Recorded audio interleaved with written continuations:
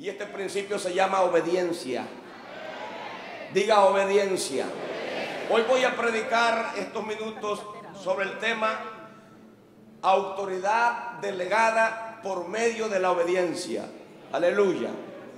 Nadie va a llegar a la victoria.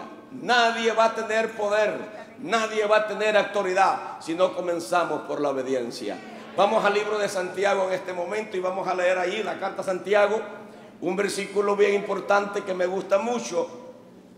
Y está, amado hermano, bendito sea el Padre, sea el nombre del Señor glorificado. Libro de Santiago, la carta a los Santiago. Gloria sea el nombre del Señor. Vamos a ir mejor al libro de San Mateo, es mejor este versículo, más, más, más claro. En el libro de San Mateo capítulo 28, versículo 18 dice, y Jesús se acercó y les habló diciendo, escuche bien, toda potestad me es dada en el cielo y en la tierra. Toda potestad me es dada en el cielo y en la tierra. Por tanto, ¿qué dice? Ir y hacer discípulos a todas las naciones. Quedémoslos ahí porque no le voy a leer toda la Biblia, voy a hablar acerca de lo que quiero hablar. Tome su asiento en este día. Bendito sea el Padre. Gloria sea el nombre del Señor. Yo siempre, hermano amado, he puesto los modelos que yo puedo aprender, los modelos correctos. Y para mí el modelo de aprender es el Señor Jesucristo. Porque Él es el dueño del reino. Yo entiendo que hay hombres que nosotros los vamos a imitar, pero el que yo quiero que usted imite es al Señor Jesucristo. Es el modelo que debemos nosotros seguir. Jesús es, amado hermano, la, piedra angular de este fundamento. Y nosotros no podemos seguir a nadie más sino a Cristo. Si usted pone la mirada en otro, usted está en nada. Por eso la, las religiones que no creen en Cristo quedan en religión nada más.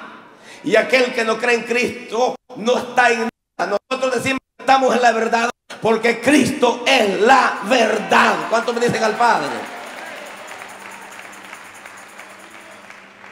La autoridad de Jesucristo no fue solamente porque Él era el Hijo de Dios.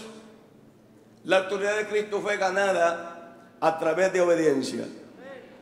Yo les enseñaba el día de ayer en el capítulo, amado hermano, de San Mateo, versículo 3, capítulo 3, versículo 13, que Jesús vino a Juan.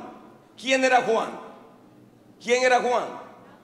Juan era el procursor, el que preparó el camino para nuestro Señor Jesucristo.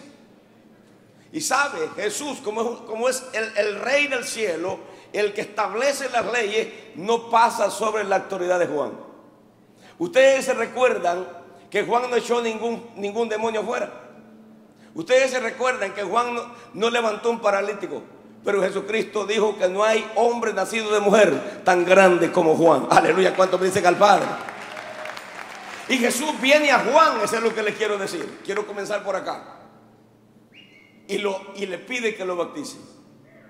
¿Qué hubiera pasado uno de nosotros en este tiempo? Este es el punto. La gente quiere crecer en autoridad, pero no quiere someterse a la autoridad. Nadie va a tener autoridad si usted no aprende que es autoridad. Jesucristo jamás hizo algo fuera de la autoridad de su Padre. Jamás. Todo lo que él hacía, lo hacía bajo la autoridad de la palabra. Y esto es lo que la iglesia necesita saber en estos tiempos. Esto es de un AMI, esto es poder. ¿Cuánto creyente anda por el mundo errante creyéndose que es hijo de Dios, pero no es hijo de Dios? ¿Cuánto pastor el diablo lo cachetea a la hora que él quiere? Porque si no tiene autoridad, hermano, ese hombre, el diablo va a la hora que le dé la gana a esa casa. A la diferencia cuando un hombre de Dios está pegado y conoce los principios de la palabra, el diablo tiene que respetar. ¿Cuánto bendicen al Padre en este día? Aleluya. Por ello, escuche bien, antes de anhelar cualquier cosa en la vida cristiana, nosotros tenemos que aprender, por eso la Biblia es la ley de Dios. Nosotros Y un poco ejemplo en nuestro ministerio. Antes de enviar a una persona a una célula, esa persona tiene que pasar por el discipulado. Y no es un discipulado ahí unas dos semanitas, es un año que tiene que estudiar ese discípulo. ¿Para qué? Para que aprenda doctrina. Usted no puede predicar el Evangelio si no sabe doctrina. Segundo, dos años de liderazgo para formar el carácter a esa persona. Aleluya. ¿Qué es carácter? Aleluya. Lo que carga dentro. Lo que carga dentro no es la cara tuya el carácter, es lo que carga dentro. Y si eso está malo, hay que arreglarlo a través de los principios de la palabra. Yo quisiera, los pastores, ministros que quieren crecer me van a entender. Ya basta de bulla. Queremos gente con poder.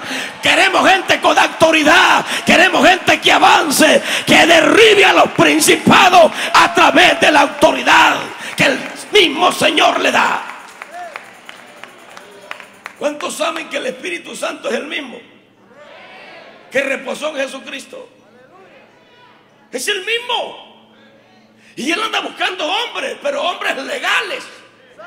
Yo les dije el día de ayer que es, hermanos, necesario que comencemos a caminar en legalidad. Yo deseo tener muchas iglesias por el mundo. Y esa es mi visión. Preparar un montón de hombres para lanzarlos como flechas para todas las naciones. Pero que sean hombres que conozcan autoridad. Sean hombres que entiendan que es el reino de los cielos. Porque la verdad, mucho pastor ha quedado frustrado porque ha mandado gente que no entiende que es obediencia, que es legalidad, que es integridad. Y esa es la gente que está pastoreando a otras personas.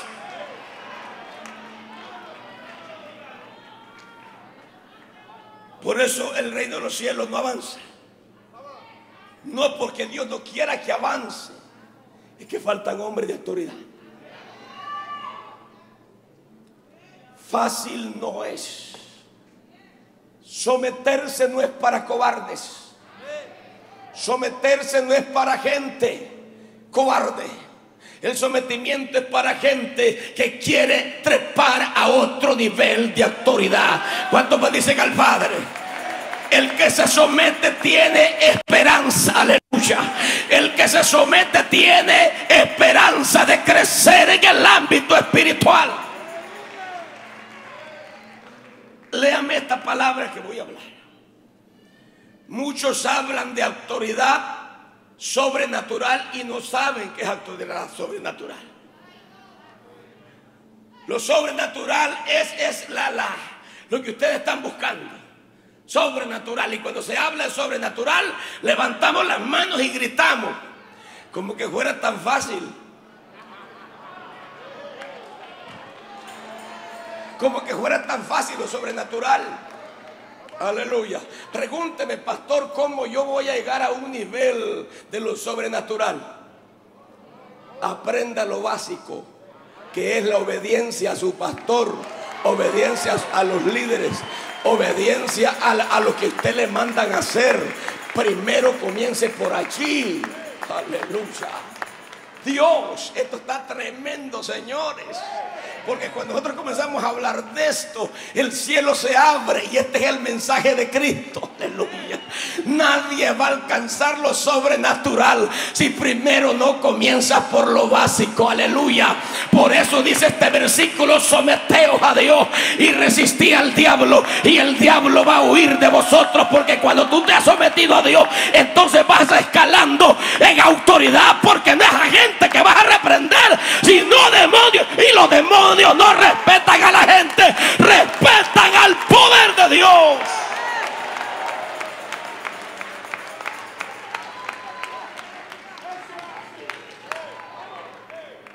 Como me encanta cuando leo Filipenses capítulo 2. Haya pues este sentir que hubo en Cristo Jesús. Por eso muchas veces yo me molesto con la gente. Y nuestro ministerio lo tengo acostumbrado a confrontarlo. Porque nosotros los hombres necesitamos confrontación, hermano. Ya basta de chinchineo. Si vos sos pastor y estás incendiando a la iglesia, mejor ponerte un pan juntamente con esa gente. Aquí hay que hablarle las verdades a la gente. Porque Dios está buscando guerreros. Dios no está buscando gente. No está buscando payasos. No está buscando gente de circo. Dios está buscando hombres de valor que conquisten con autoridad. Y esta autoridad no va a venir si primero nosotros no comenzamos por el principio original. Como me encanta cuando Dios le dice, cuando el Señor le dice, Josué, mira que te mando que seas valiente, no temas ni desmayes, porque Jehová tu Dios estará contigo a donde quiera que vayas. Pero primero le dice, te mando que estudies la Biblia de día y de noche, para que lo que hagas lo hagas bien. Y todo te va a salir bien.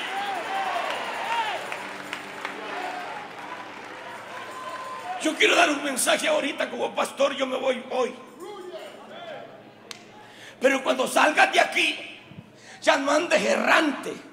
Buscate un pastor y sometete, no seas rebelde. Porque la bendición va a venir bajo la obediencia. Y por eso Dios dejó los pastores para que ministremos a la gente, para que le enseñemos y para que la liberemos. Dios de la gloria. Esto está profundo. Esto está bueno. ¿Lo quieren oír? Miren, desde que estaba la, esposa de nuestro hermano, esta mujer dijo, me está preparando el camino. Y luego entró el pastor, ay, esto está bueno. Escuchen, todos los que quieren crecer les gusta esta clase de mensaje. Toda la gente disciplinada que quiere desarrollarse le gusta esta clase de mensaje. Porque una casa no se va a construir sin fundamento. Una casa se necesita ponerle columnas. Y el cuerpo de Cristo necesita columna y base para que se desarrolle. Amala y puede alabar a Jesús. De aquí van a salir en otros niveles, aleluya. Van a alcanzar tu ciudad. El diablo va a saber que ahí está un hombre de Dios. Aleluya. Y Dios va a confiar del cielo y va a decir, ángeles, llévenle bendición a este hombre para que impacte esta ciudad. Cuando yo entro en los fundamentos, diga fundamentos, principio Principios son leyes de legalidad en el reino. Entras a la obediencia, vas a escalar. Cada día, cada año vas a ir creciendo. Vas a ir creciendo. Y Dios te va, te va a ir soltando. Te va a entrar a otro nivel. Vamos a ver. Diga, autoridad por obediencia. Es lo básico en la vida de un creyente. ¿Qué va a pasar cuando nosotros ya entremos a ser cabales, que hemos aprendido a ser obedientes? Entonces viene la autoridad por resurrección, que es la autoridad sobrenatural. Ay, esto que voy a hablar le va a quebrar la cabeza a usted. Aleluya. Jesús fue obediente hasta la muerte de cruz. ¿Le explico? La obediencia de Cristo, la verdadera obediencia, llegó hasta la cruz en su cuerpo humano. Se sometió hasta la muerte, hasta la cruz. Ahí llegó lo básico. De la cruz en adelante entra lo sobrenatural. Tienes que morir, papá. Vos andás vivito, andás, andás coleando andas en las mismas sinvergüenzas del mundo, andas haciendo lo que a ti te da la gana y te la llevas de cristiano y de cristiano no tienes nada. Tú tienes que morir, tú tienes que morir al pecado, tú tienes que morir al enojo, tú tienes que morir a la rebeldía, tú tienes que morir a todo lo del mundo, tú tienes que morir a todo lo que este el diablo ha lanzado al mundo. Tienes que morir para poder entrar a otros niveles.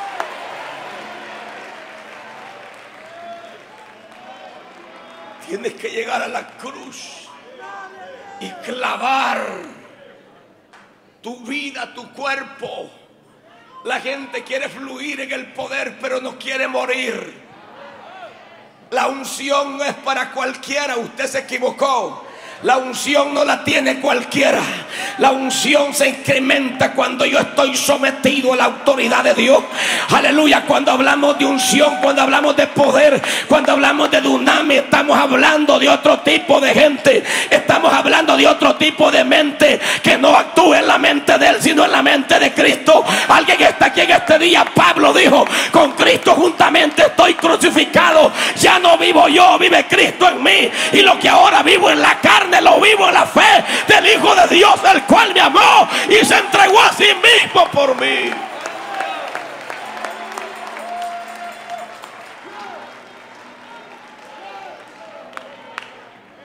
¿Quién quiere ser humilde? ¿Quién quiere ser humilde en este tiempo?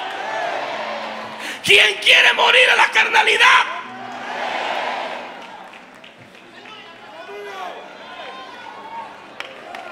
Estamos llenos de orgullo. Estamos llenos de soberbia. Estamos llenos de tanta soberbia que no hemos aprendido ni siquiera a respetar a nuestros pastores. Y por eso andas como muerto caminando, porque gloria no hay para los desobedientes.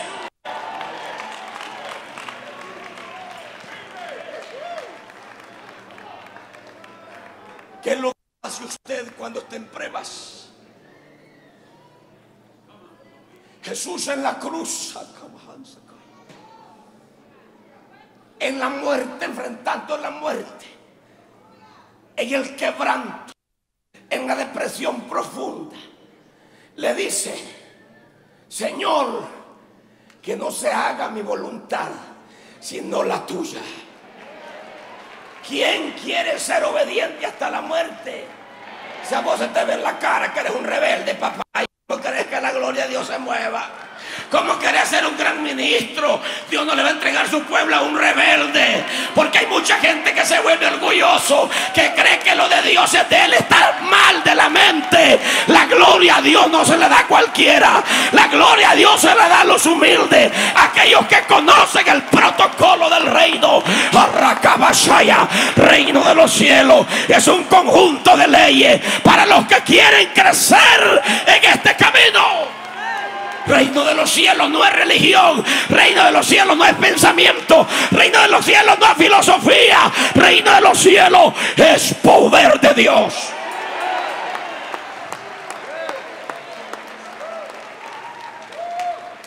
Dijo el apóstol, cuando yo fui a vosotros no fui con palabras de humana sabiduría sino fui con demostración de poder. Y si hablamos de Pablo, no estamos hablando de un pelagato. Estamos hablando de un hombre instruido en la ley. A los cuatro años Pablo sabía toda la ley.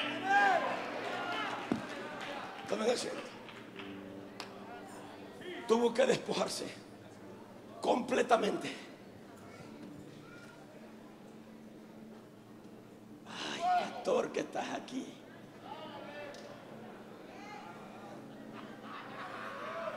Miren, les voy a contar experiencia.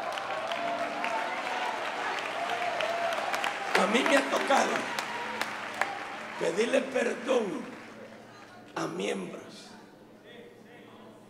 Te lo voy a contar. Pedirle perdón a aquel que te critica, aquel que te ha denigrado. Y irte tú supuestamente como pastor humillarte a esa persona.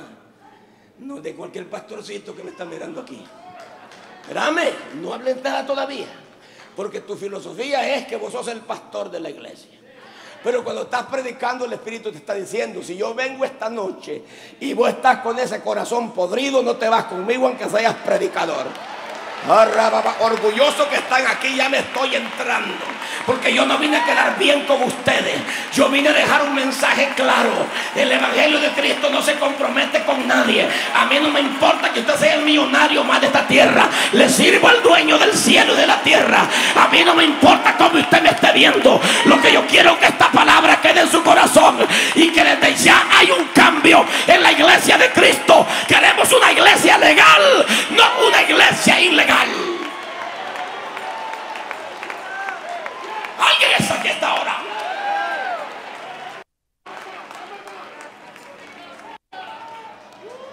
Miren, hay gente tan soberbia que cuando escucha estas enseñanzas se van para arriba. Dice, yo lo que quiero es unción. Y lo que me gustó lo que dijo el pastor, unción sin carácter, no hay nada. Ese es tuya, esa es payasera.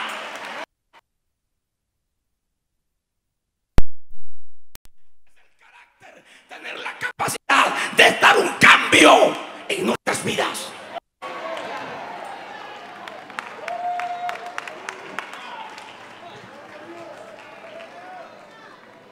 Me paro, le sigo.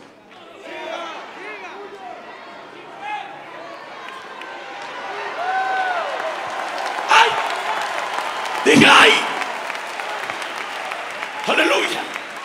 Cristo pasa de la obediencia, la obediencia básica que nosotros tenemos. Ay, nosotros no hemos llegado, ni, hemos comenzado.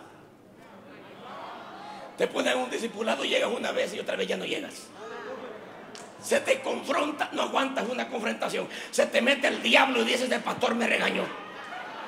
¿Y cómo quieres crecer, Señor? Si a Pedro le dijeron, diablo, apártate de mí.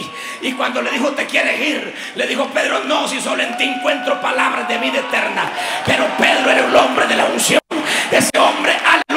Mayores cosas que Jesús. Porque cuando, aleluya, pasaba, dice que los enfermos se levantaban con la sombra y no hacía tanta bulla.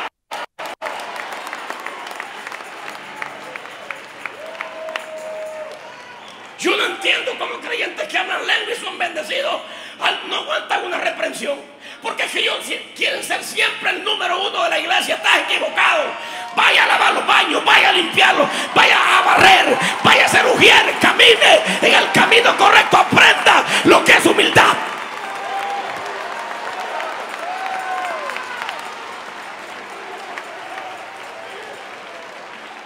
Aquí hay unos que quieren salir empoderados para ser pastores ya. Ni has aprendido que ser un miembro.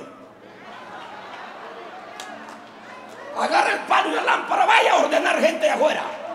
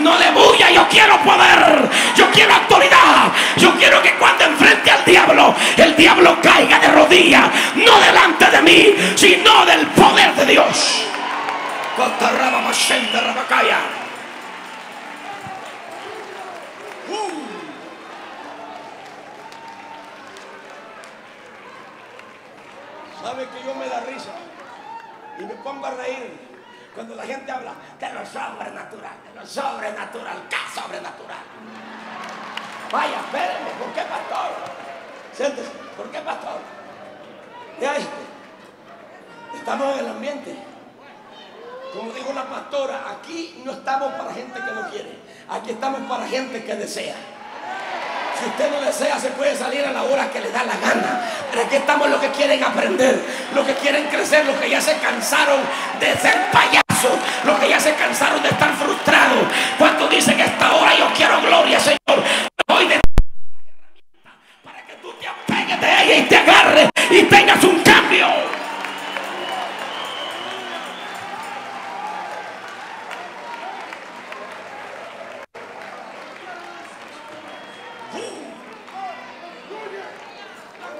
Herramienta, herramienta.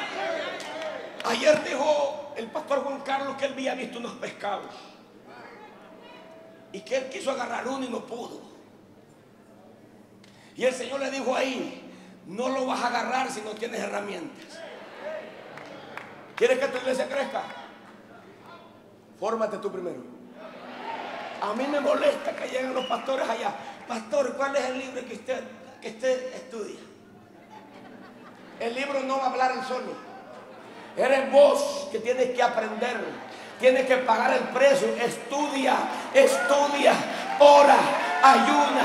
Busca a Dios que te enseñe la revelación, que te dé poder y te dé autoridad, que te dé el espíritu de autoridad y dominio propio, porque la gente no vas a seguir a ningún cobarde. Cuando no tienes nada te conviertes en un cobarde. La iglesia la vas a hacer crecer cuando en ti hay una llama que imparte poder a tu rebequenda. Aleluya.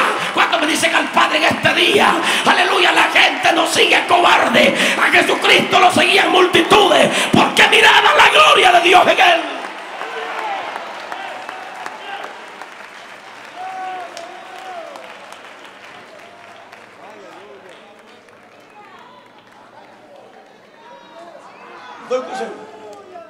No anden buscando ministerio.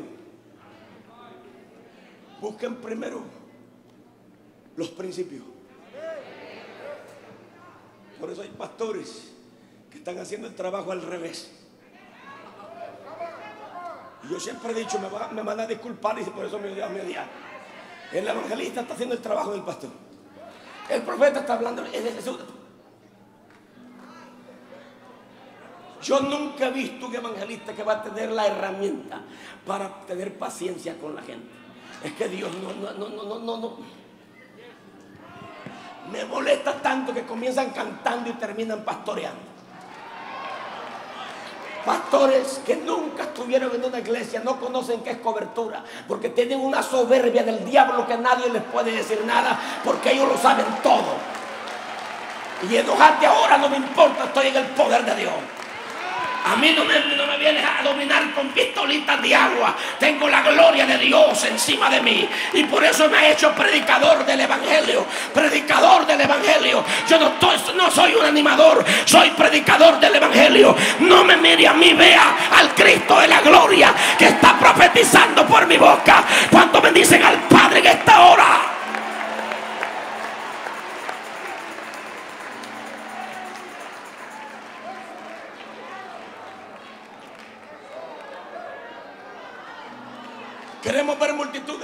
Queremos ver al endemoniado cambiar. Queremos ver al drogadito cambiar. Tiene que llegar a un ministerio de autoridad.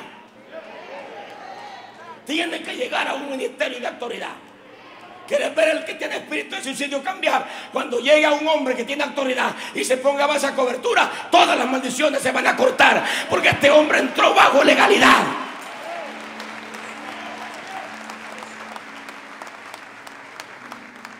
Quiero que quede claro este principio. Pregúnteme cómo yo voy a entrar en autoridad.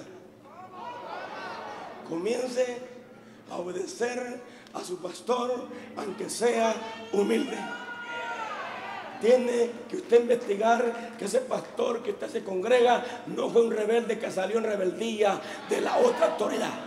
Porque si usted se está congregando con un pastor que ha dividido iglesia, usted cae en la muerte también y en la maldición. Usted tiene que preguntar quién es ese hombre, quién lo va a pastorear, porque usted tiene un alma que cuesta mucho. No cuesta dinero, cuesta la sangre de Cristo. No es tienda, no es empresa el Evangelio. Aquí cuesta la vida del Señor. No es negocio.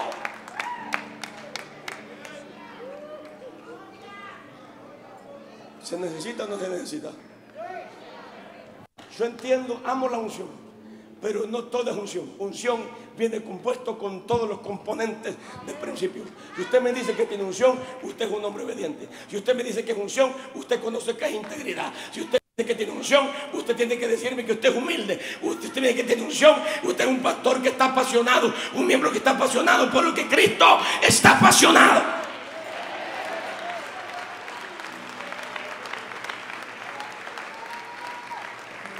Ahora diga cómo voy a entrar a lo sobrenatural. Lo que hizo Jesús. ¿Qué hizo Jesús? Murió en la cruz. Y levanta sus, ojos al cielo y dice, consumado es. Terminé, Dios, por eso a nadie se le da gloria, sino solo a Él. Fue al infierno. Entró al centro del infierno con derecho legal le dice al diablo, dame la llave.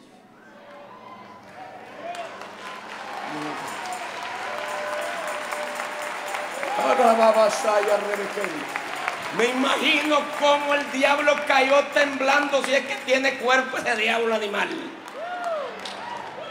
Cuando llegue el Eterno, dame no y cara a cara. Aleluya. Tú le quitaste la autoridad a Adán, pero a mí no me la pudiste quitar.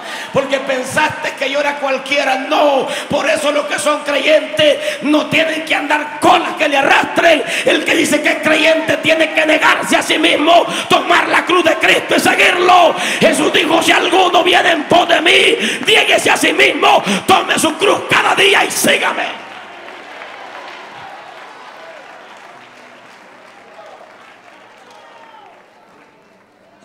Llaves. Las llaves de la muerte. ¿A dónde dice su pastor? Lee Apocalipsis capítulo 1. Juan Vido, uno que hablaba como estruendo de muchas aguas, cayó muerto. Pero le dice Juan, yo soy el alfa y la omega, principio y fin, primero y último, el que estuve muerto pero ahora vivo. Tengo la llave de la muerte, del infierno. Dile a la iglesia que no es cualquiera. Yo he vencido la bajanza. Yo soy el león de la tribu de Judá. ¿Cuántos alaban al rey esta hora? ¿Cuántos alaban al rey esta hora? Bendiga al rey. Bendiga al Padre. No está solo. Por eso yo le voy a indicar, deje de estar mirando señoras chismosas alrededor de usted, deje de estar mirando hombres chismosos, ponga los ojos en Jesús, el actor y consumador de nuestra salva y preocúpese por prepararse.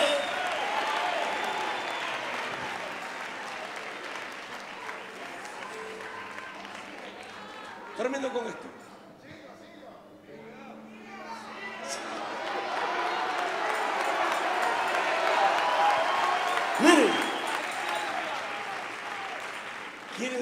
¿Quieren ser ustedes hombres de autoridad? Guarde el testimonio. Porque yo he visto gente que habla tan bonito, que se visten tan bonito que hasta perfume se ponen en la boca para hablar, pero son unos grandes lobos rapaces que no tienen nada de autoridad. Lo que tienen es carisma y el Evangelio de Dios no es carisma. El Evangelio de Dios no es filosofía. El Evangelio de Dios es poder.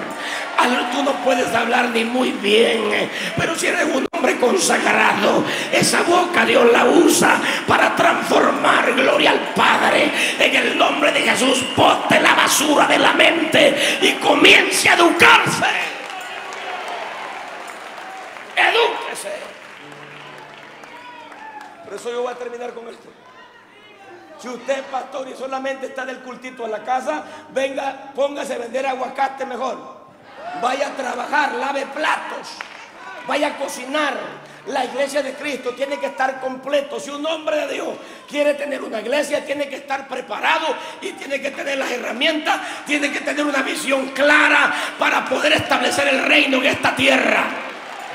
Oigan esto con mucha seriedad. A veces, pastor, usted lo sabe, que nosotros no queremos que los verdaderos líderes se los vayan, pero tenemos que enviarlos porque esa es la orden de Dios. Y ese es otro que le voy a enseñar ahora. El pastor competente no lo llamó Dios para que hagan un montón de gente como que son vacas encerradas. Jesús dijo predicar, enseñar y enviar. Y el pastor competente no manda a sus hijos a rodar tierra. Él le pone la iglesia a sus hijos. Es para eso es el dinero que entra a la iglesia. No es para robárselo, no es para ponérselo en traje, es para enviar a la gente a hacer la obra de la iglesia. Y esa es otra cosa que le voy a decir. Por eso la gente no quiere dar nada, porque muchos lobos rapaces, mucha gente egoísta, mucha gente con soberbia se ha puesto a trabajar, que creen que la iglesia es una empresa para recoger dinero.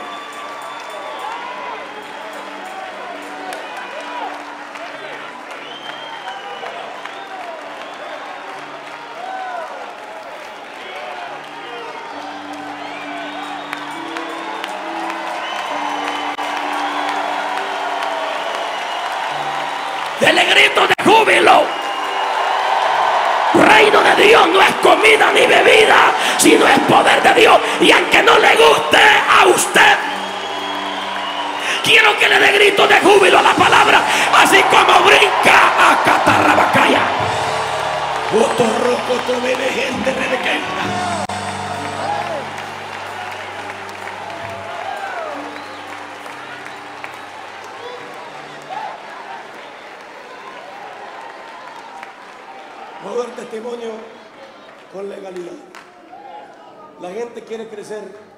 que lo tengan en la palma de la mano sin hacer nada. Yo tuviera casa de millones de dólares a mi nombre. Pero esos millones los he invertido en edificios. En edificios. Cuando yo me muera no me voy a llevar nada de esta tierra, me voy a llevar lo que hice.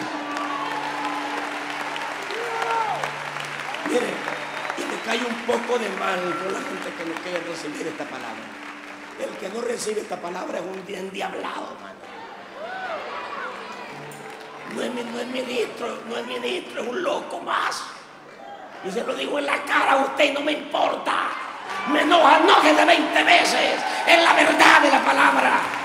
Yo no vine aquí a jugar ni vengo por dinero, vengo a predicar la palabra. Si quiero dinero, Dios me ha bendecido. Alguien alabe el nombre de Jesús. No vengo por una ofrendita. Alabado sea el nombre de Jesús. Catarrabacaya, rebequenda. Cuando me dicen al Padre, vengo a decirle la verdad que usted me odee. Vengo a decirle la verdad. Alguien me está mirando por esa cámara y usted está endiablado, no entiende qué significa el reino de Dios. Vámonos, vámonos.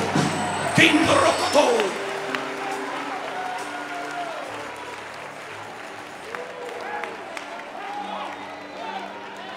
Llama. Dele dele palmas a la palabra. Así como se llena del Espíritu, dele palmas a la palabra. Mientras usted está lavando la palabra, demonios están saliendo. La gente está siendo liberada. La gente tiene que ser liberada. La gente tiene que ser liberada. La gente tiene que ser liberada. La palabra de Dios libera. La palabra de Dios tiene poder. La gente cambia cuando hay poder de Dios y hay palabra. Siento poder, siento poder, siento poder, siento poder, siento poder, siento poder.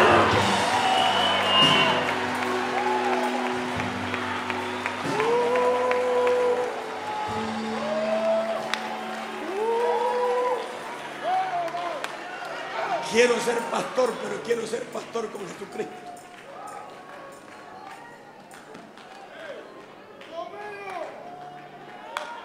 ¿Le entiendo, pastor? Claro. Óigame, aquí no estoy yo, estoy el Señor. Yo he visto gente que después que se ha sometido bajo una cobertura ha crecido.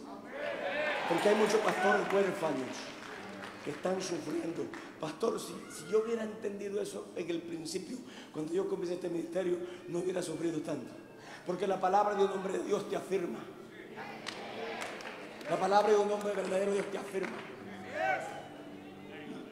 Descansado estuviera, bien. Pero como eres un ignorante, te la lleva que vos te la sabes. Seguí adelante. Y como Dios es así, pastor, usted lo sabe. ¿Cuánta gente hemos visto nosotros en esta carrera espiritual que se salen, que pueden y terminan arruinados? Dios dice, "Ah, ¿conocen los yoyos ustedes? Una cosa que se tira así y se jala así con una vida. Entonces Dios dice, lo voy a dejar que corra este, a ver hasta dónde llega. De repente cuando Dios dice, este está loco, va a arruinar más gente, le da un solo jalón y lo puso de vuelta. donde- Yo mejor, mejor prefiero ir despacito, pero ir seguro en lo que estoy haciendo.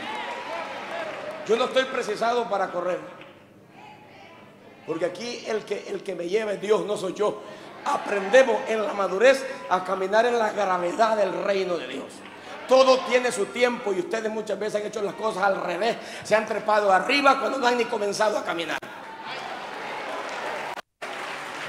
A su nombre. A su nombre. Selle esto. Usted no va a tener autoridad si es un rebelde a su autoridad. Mayormente gente que está bajo cobertura criticando a su pastor.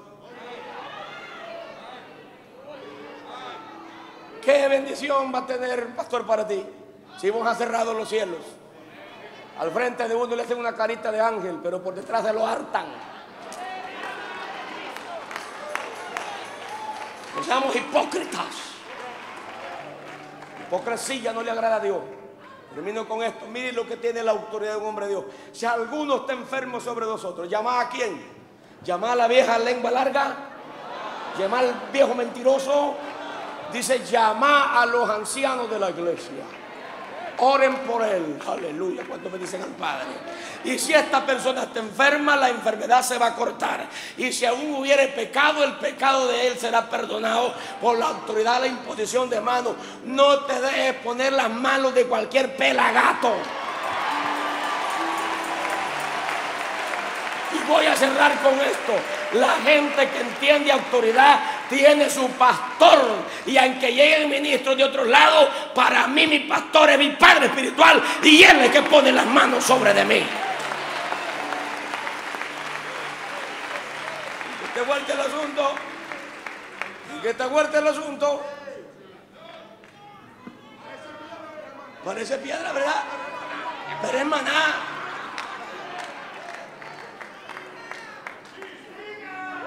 Con su permiso, yo voy a hablar algo aquí y que siempre lo digo.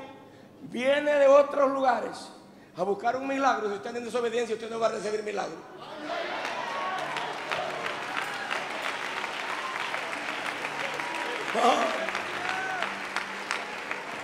Voy a hablar de autoridad en autoridad. Aunque al hombre de Dios, Dios le use, te eche aceite hasta la nariz. Si vos andas desobediente, nada va a suceder. Oiga, Jesús, aleluya. Miren los hombres que conocen autoridad. Desde lejos pides una oración y esa oración va a llegar a tu vida y te va a sanar. El centurión le dijo, solo di la palabra y mi siervo sanea la casa con el Señor. Pero dice el Señor, ¡qué hombre! No he encontrado ninguno en Kansas, dijo el Señor. Ninguno, aleluya. ¿Qué hombre? No he encontrado ninguno en Israel. Ese hombre no era judío, era romano. Se dice que era el cinturón Cornelio. Por eso allí se derramó por primera vez el Espíritu Santo en la casa de Cornelio. Le dice, yo soy hombre que tengo hombres a mi mando. Oiga bien, esto se llama autoridad. Si le digo a esto, van, ellos van. Si le digo vienen, ellos vienen. Dice, di la palabra porque no soy digno que entres a mi casa. Sé que tú eres la autoridad máxima. Aleluya. Reconocer la autoridad te va a llevar a la victoria. Alguien alaba al Padre. ¿Cuánto me falta? ¿Cuánto me falta? Alabado sea el. ¿Cuánto me falta, Pastor Carriga? ¿Cuánto me falta? ¿Cuánto me falta? Aquí hay que reprender al diablo. Usted ya sanó a la gente ayer. Ahora hay que echar fuera todos los espíritus malignos de rebeliones. Porque en este congreso tiene que haber un crecimiento. Y la palabra de Dios es tuname alay. Por la palabra de Dios hicieron los cielos y la tierra. Por la palabra de Dios hay cambio en la vida Aleluya. Yo que usted agarrara esta palabra y dijera, Señor, si han dado en desobediencia, hoy es el día que la palabra me está alineando.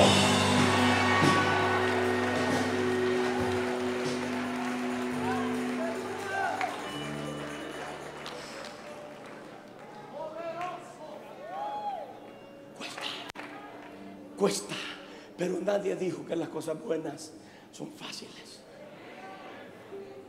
A veces yo los veo a ustedes con grandes cadenotas de oro.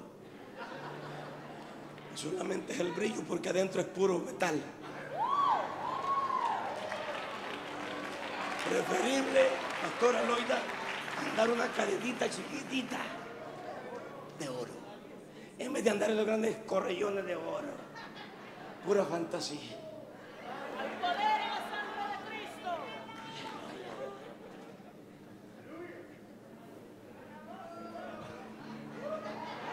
Van ustedes que les gusta.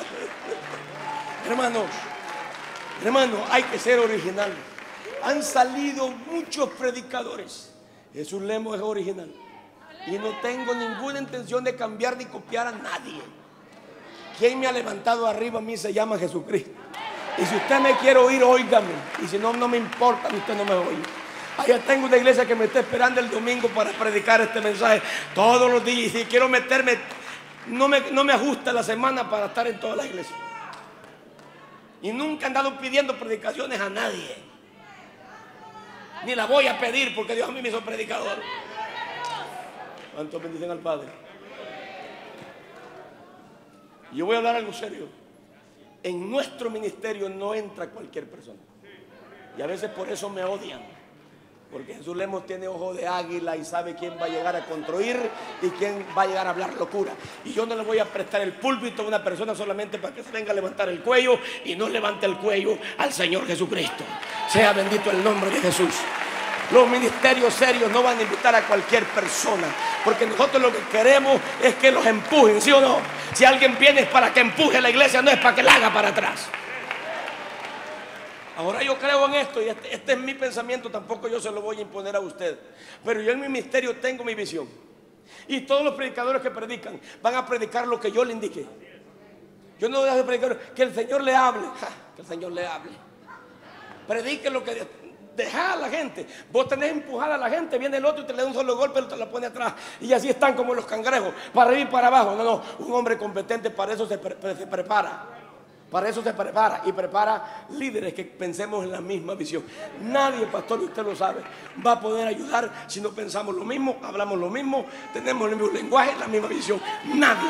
No pueden haber cinco, diez visiones en el mismo momento. No, debe de haber una visión, porque Cristo, el Espíritu Santo y el Padre son uno. Fuerte aplauso a Cristo Jesús. Fuerte aplauso a Cristo Jesús. Levante su mano en el nombre de Cristo. Quiero respetar el tiempo. Quiero respetar el tiempo. No estoy pidiendo un milagro físico. Dígale al Señor, Señor, ayúdame. Alguna musiquita por ahí bonita. Alabado sea el nombre del Señor. Aleluya, aleluya, aleluya. Renuévame, Señor. Renueve. Yes. Vamos a ver. Yes. Ya no quiero ser igual. Ya